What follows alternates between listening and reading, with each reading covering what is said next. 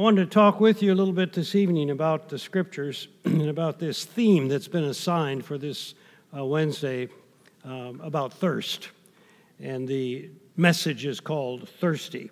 And I think that's a question mark behind there, isn't there? Thirsty? Are you thirsty? So it's a good question in the light of the gospel which we read and in the Old Testament lesson which we read. Very good reader, by the way, Thomas. The Old Testament lesson is the continued history of the Jewish people as they've now moved out of the land of slavery, headed toward the promised land.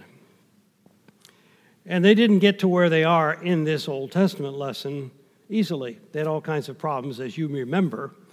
First of all, Pharaoh of Egypt, when Moses came to him, he said, Well, I don't think I want to let you go.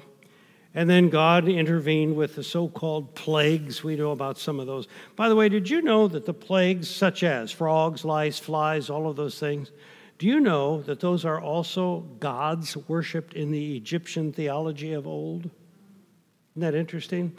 So someone has made the comment that the plagues are kind of a, oh, a god swipe at the gods of Egypt. Very interesting. Nonetheless, they finally got out of there by walking across where there should have been water.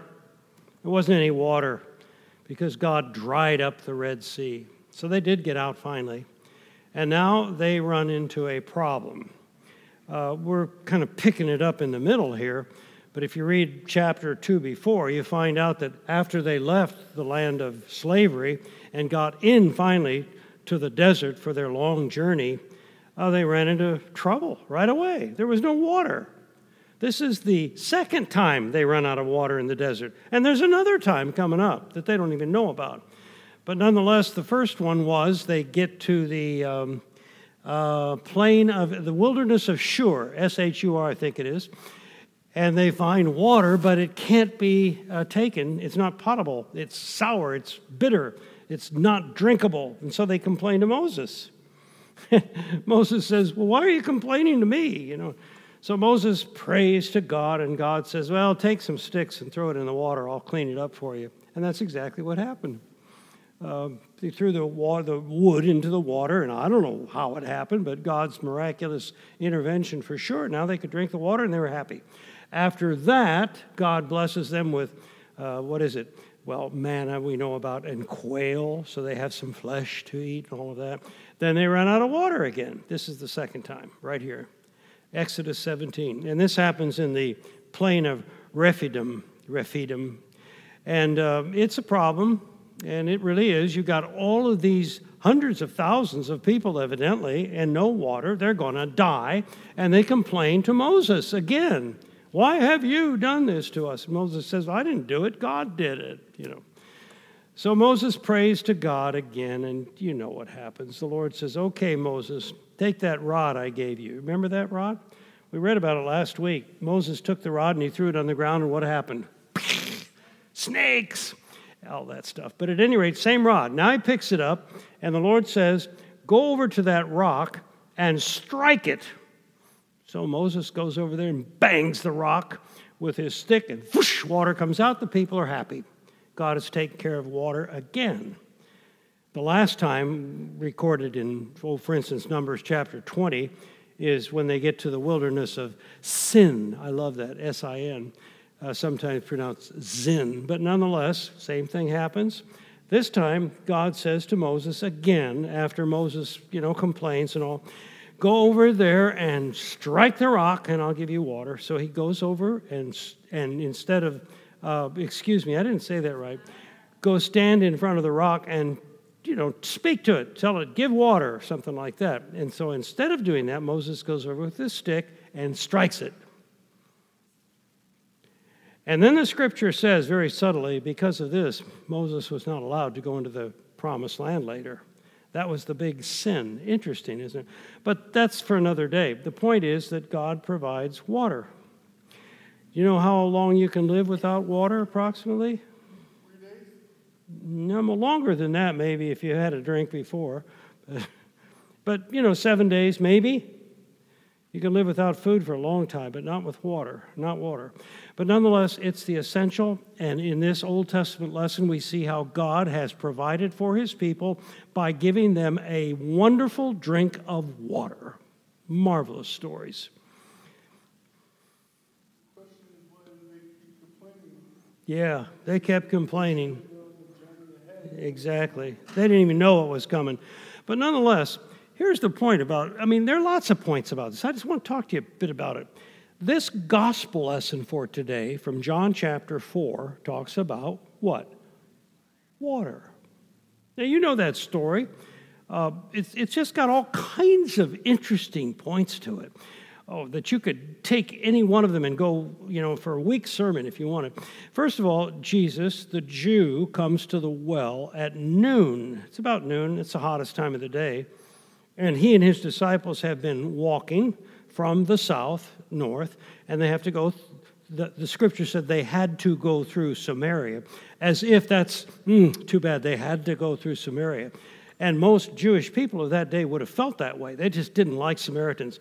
And by the way, that's not just something that happened. That's got a 700 year history by the time Jesus comes along. That's another, another wonderful story. Why did they not like each other? But nonetheless, they didn't. So they come to the well. Jesus sits down on it or near it. And uh, here comes, guess what? A Samaritan woman. That's logical. This is Samaria. She lives in Sychar. That's where this well is. And they uh, began to talk, and Jesus breaks it and says, Hey, can you help me? I just think that's fascinating that in between the lines here, the Lord and Master of the universe comes to a Samaritan woman for help. She's the only person in the world that can help him right now. I mean, that's the way it seems, right? Give me some, can you give me a drink of water? And then that conversation ensues. You know, why do you talk to me? You know, we're not supposed to talk to each other.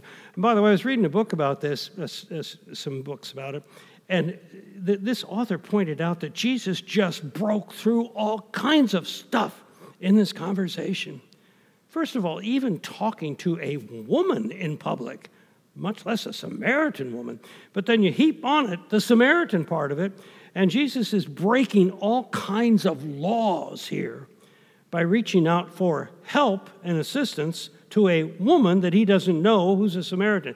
My goodness, the Jewish men, if they had seen this, would have just had a terrible time with it. Jesus was just blowing things away.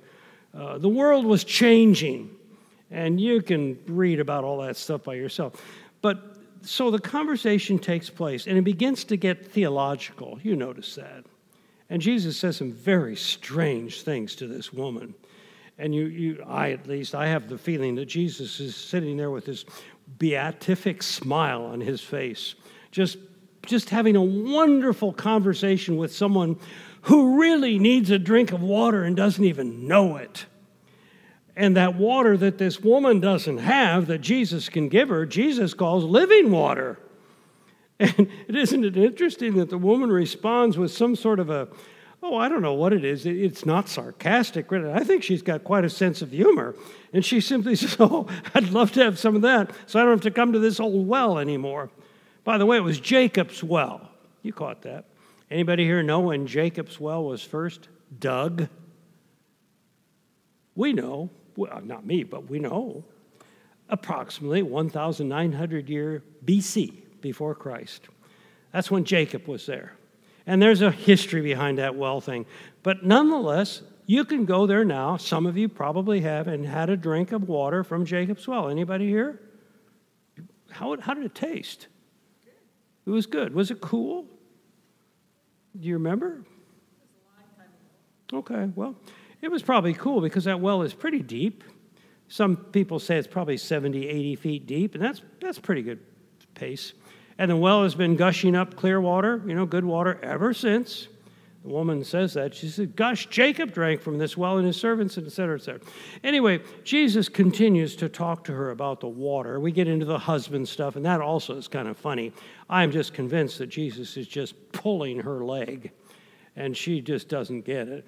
Well, you're right. You said you don't have a husband. In fact, you had five husbands, and the one you have right now isn't even your husband, so you ought to get married, or something like that. But nonetheless, the woman is taken by Jesus, and you know that she goes, runs home, and begins to tell people she's met the Messiah. And so, because of that, Jesus is invited to stay in Sychar, and then he stays a few days and talks to the Samaritans who come back to the woman and say, Well, we believe that he is the Messiah, not because of what you said, because of what, what he told us and what we've come to understand. A wonderful story. And all the while, Jesus is giving these people water. We'd call it living water. And living water, of course, it seems to me in this pericope is a, is a, a, a symbolic thing. It's talking about the salvation that Jesus gives. If you don't have it, you're going to die, spiritually speaking. So you need this living water for sure. And Jesus is the one who gives it. Well, I was thinking about that when we were hearing the Passion story that you read tonight. It caught my ear that three times in that Passion history that we read tonight, Jesus says to his Father in prayer, If it's possible, please take this cup away from me. If it's possible, take this cup away. Now, the cup, of course, is something that contains liquid or water. But Jesus is speaking, of course, about his suffering and death, which is just around the corner, and he's going to drink the dregs, and it's going to kill him because it's poison, because it's full of sin, and all of those things which kill God's people. And Jesus is going to take a big drink of that cup and give his life for us. You know, there are references in the Psalms uh, where it speaks of the thirst of God's Son. In Psalm 22, for instance, in Psalm 69, you can find it yourself. But our Lord Jesus Christ, who knew Scripture well and knew everything in the Old Testament there was to know about what he was to do, you know, when I said that, it didn't even sound right to me. He knows what it is because he's the Son of God. But nonetheless, Jesus is very careful that he does everything that the scripture, meaning Old Testament, says that he will be doing. And one of those things is that he will be thirsty. It's recorded in Psalm 22, recorded in Psalm 69, and probably other places too. So when we get to the cross, Jesus is there. And when you read the Gospels, you read what we call the seven words.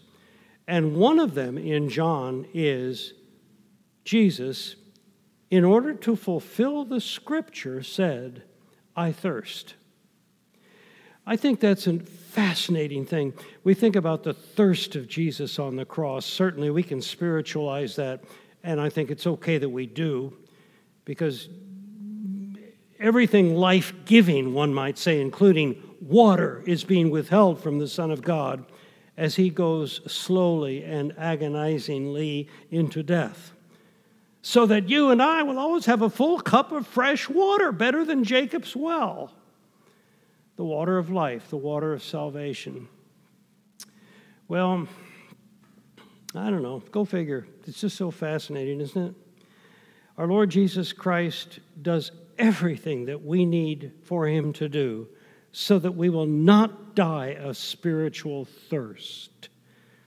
And he did that by drinking those cups which took him to death, so that we might have life with God, with our cups full of the water of life, a gift of God. So you can take that and work with it, make it your own, if you will. But God give you a full cup of the water of God's blessings always in your lives. In Jesus' name, amen.